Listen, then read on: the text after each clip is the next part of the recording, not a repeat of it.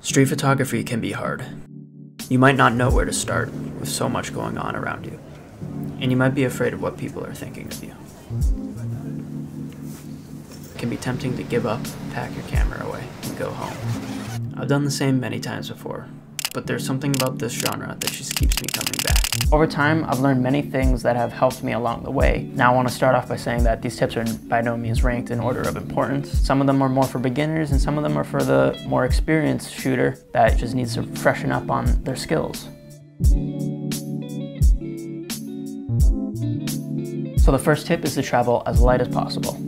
When it comes to street photography, I strongly believe that less is more. That's why I always carry just one camera with me and one lens. When you choose a lens, I'd opt for a prime lens. It's been stated over and over again that prime lenses will get you to be more creative and think about your composition and not be a sitting duck where you could just zoom in and out. When you have less gear to think about, you can put all of your focus on just taking good photographs. You know, you, have, you don't have the distraction of thinking about what gear you should be using. Also, if you have the chance, I'd recommend that you pick a camera that is small and compact, say like the X100F. This is a great camera to shoot with for street photography because it's not very intimidating. If you shoot with a large DSLR with a long lens, it's not to say that you can't shoot with that, but you know, it's nicer to shoot with a camera that you're not seen by your subject before you even raise the camera up to your eye. With this camera at this size, you can really be more confident in the photos that you take you'll find yourself taking photos that you know you probably wouldn't if your camera was a lot more noticeable.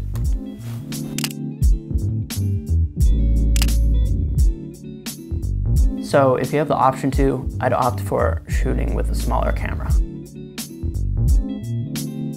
As a street photographer, you're bound to be asked about what you're doing.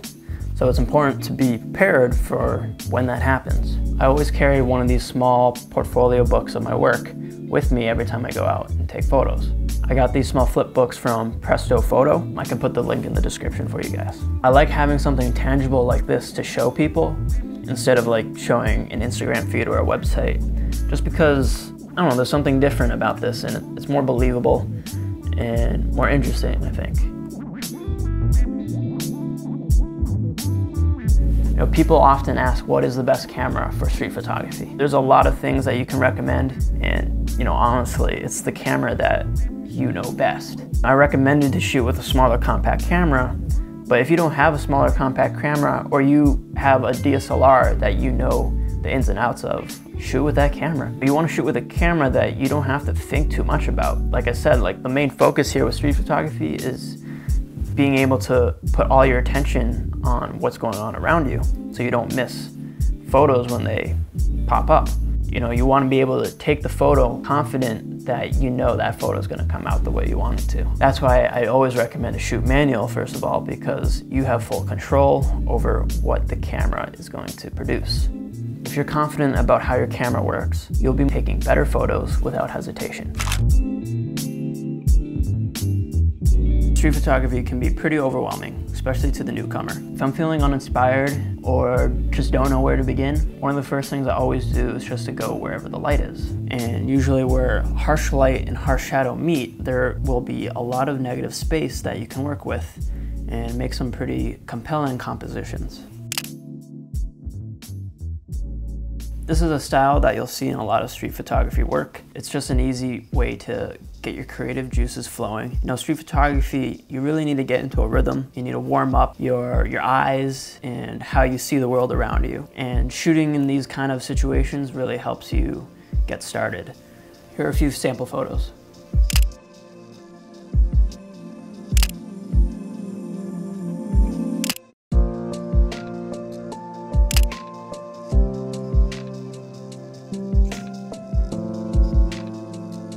Lot of times you'll probably see a potential photo happening in front of you, but you don't take the photo.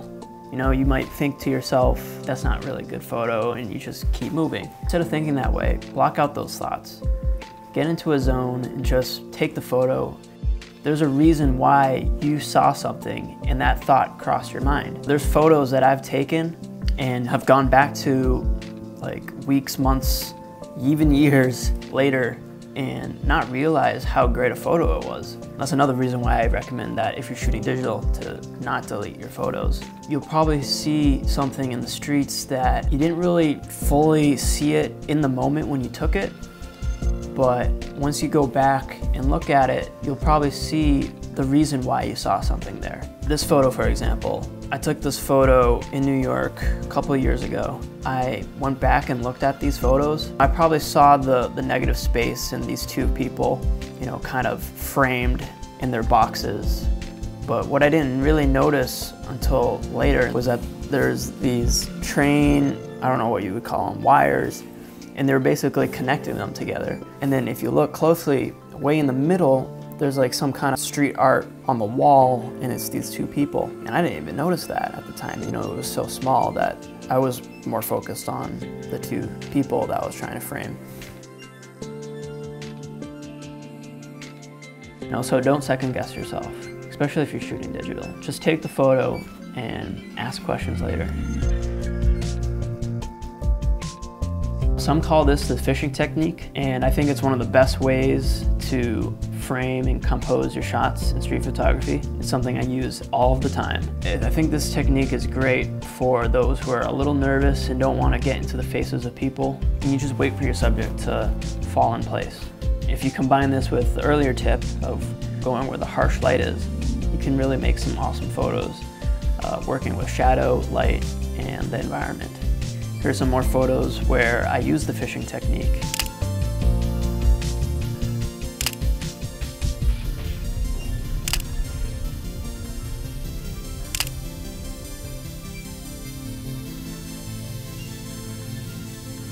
If you try to hide the fact that you're taking a photo of someone, and then they notice you, you risk putting yourself in a worse situation than before because no one knows what you're doing. Imagine you're going about your day and someone takes a photo of you and conceals their camera, you know, behind their jacket or something.